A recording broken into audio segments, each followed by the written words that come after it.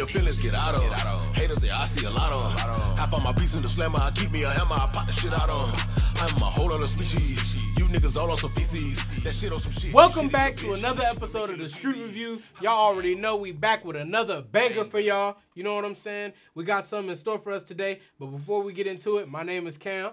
And my name is Justo. You feel me? So today we got an artist named Biz Markie. Apparently this man is the funniest man in the rap game.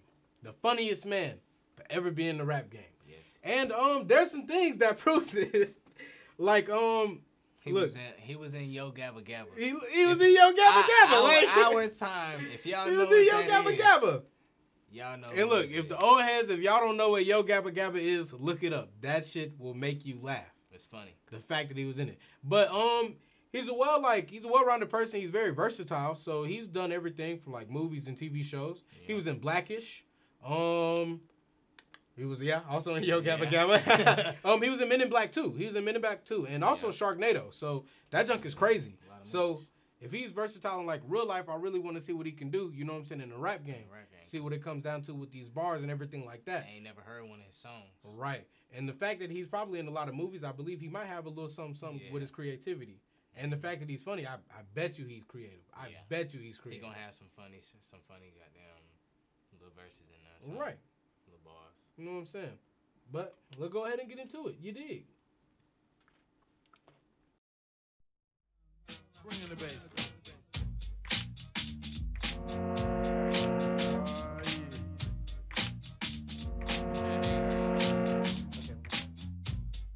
Ah! Radio, TV, and even the press say what's the meaning of V-A-P-O-R-S. The meaning of this word, without no doubt, means nobody wanna be that when you're down and out. Now when you're established and got a lot of money, everybody wanna be your buddy and honey. Like tall buildings, they call skyscrapers. And you feel it. Nothing can save ya, but this is the season of catching the vapors. And since I got time, what I'm gonna do is tell you how they spread it throughout my crew. Well, you all know TJ Swan, who sang on my records. Make the music nobody beats the biz. Well, check it. Back in the days before this began, he used to try to talk to this girl named Fran. The type of female with fly Gucci wear, with big truck jewelry and extensions in her hair. When Swan tried to kick Why was her name Fred? That's crazy. That's what I'm saying. Like, why her name had to be Fred? But I don't know. He probably ain't want to put his business out there like that, though. You know what I'm saying? Solid, solid. it, she always best talking about, baby, please, you work for UPS. Since he wasn't no type of big drug dealer, my man TJ Swan didn't appeal to her. But now he trucks gold and wear fly Bally boots. Wealth, leather, fashion, and tuxedo suits. Now she stopped fronting wants to speak and be coming to all the shows every single weekend. To get his people number, she be begging please. Dying for the day to get skis. She caught the vapors. She caught the vapors. She caught. Yo!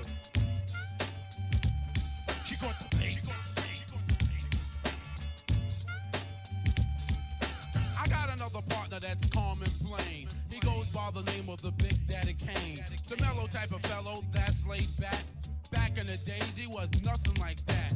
I remember when he used to fight every day. What grown-ups would tell him, he would never obey. He wore his pants hanging down and his sneakers untied and a Rasta type Kangol tilted to the side. Around his neighborhood, people treated him bad and said he was the worst thing his mom's ever had. He said he would grow up to nothing but a hoodlum or either in jail or someone would shoot him.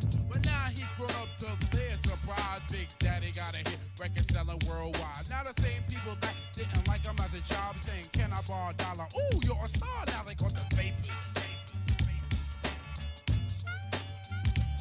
They call the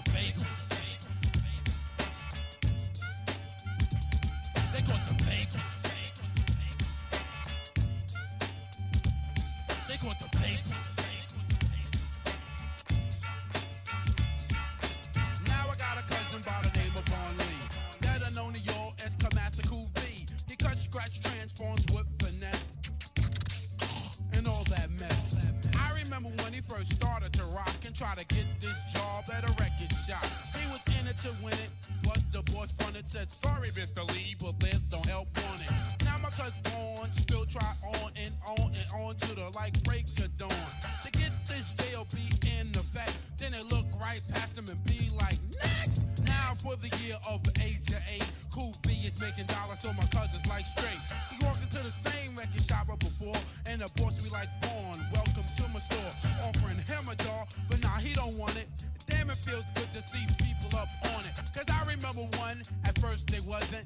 Now guess what they caught from my cousin? The vapor. They caught the vapors.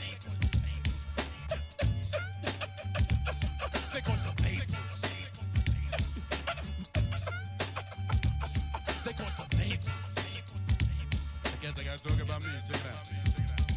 Last subject of the story is about Biz Mark. I had to work for mine to put your body in park. When I was a teenager, I wanted to be down with a lot of MC DJ and crews in town. Source crew on Noble Street, I said, Can I be down? Champ, they said no one treated me like a wet food stamp. After getting rejected, I was very depressed. Sat and wrote some deaf doodle rhymes at my rest. When I used to come to parties, they make me pay. Would have to beg to get on the mic and rap that day. I was never into girls, I was just into my music. To act like I wanted to keep instead of trying to use it. But now things switch without belief. Your biz, do you remember these for Noble Street Chief? We used to be down back in the days. It happens all the time and never cease to amaze. They caught the vapors. Yo, yo, they caught the vapors. This song was hard as shit. And honestly, I love this so much because I was honestly not talking throughout the video, and I'm so sorry for that. But the video itself was just so captivating. Yeah. Because when I told you that he was gonna be creative, I, I told you. This man just told like four different stories in one song. He did. This man just told four different stories in one song. And they was all like, you know what I'm saying? Kind of like something everybody could relate to. True. You get what I mean? So my man lost his job. the best part about this video, the man lost his job, and while he was rapping, he um changed his voice to make it sound like um it was a white voice and one on yeah. the uh, manager. and I'm like, damn, this man is extremely versatile. Like, and I knew it, and I told you Mhm. like when he hopped on this beat that he was gonna come in here with some fire, bro, and I knew it, bro. It was crazy. I'm already knowing. It is crazy how, bro, this man is amazing. And I can see why they say he's one of the funniest guys in the rap game. Yeah, you you know what what I'm saying? Yeah, nah, that man. And then I'm like, yo, what the I'm like, yo, what are you doing? like, it's it's a whole bunch of stuff going on. And even in his lyrics, he was like, yeah, like, my partner got a girl and her name is Friend. Like, come on, bro. Like, come on, man. Like, I don't know. It probably did sound good, you know what I'm saying, as a bar writing it down. He probably meant something else by that, and it probably just ain't hit me yet. You know what I'm saying? But, like, I most definitely mess with the song. Most definitely. I most definitely video the and the damn song with the ten. Right, the video and the song was a 10, no lie. I have to. Because this song, I could really bump this in my radio yes, today. Just Yes. cruise. You know what I'm saying? What? Cruise. This shit right here was hard. That's what I'm saying. And um, another thing I liked about it was the transitions. Yeah, transitions. The was so- transitions was yeah, like oh my gosh, It was on point. like I was like oh my gosh, this man is crazy with this mind, that's why we dog. talking. yeah, you know what I'm saying. I'm just like bro, like everybody, bro, y'all need to watch this video.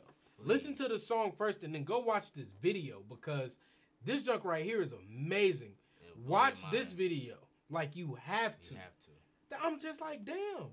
Why is this thing? It's like a, a real like movie, bro. It's this was literally like four different movies. This Oh, man had characters.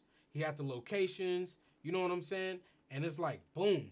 Next thing you know, oh, you know what I'm saying? He's talking about himself and everything like that. How he was getting rejected from the um, friend group and everything like that. He- Mhm.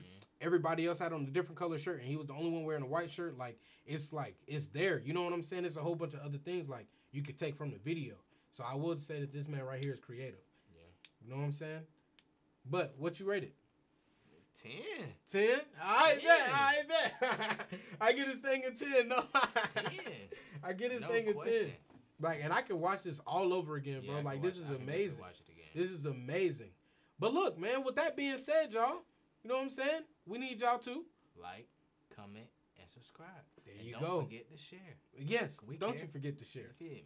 You feel me? But look at that. We love y'all. You know what I'm saying? Guess what? Boom. Get out your feelings. Get out your feelings. Get out your feelings. Get out your feelings. Get out your feelings. Get out your feelings. Get out your feelings. Get out your feelings. Get out your feelings. Get out your feelings. Get out your feelings. Get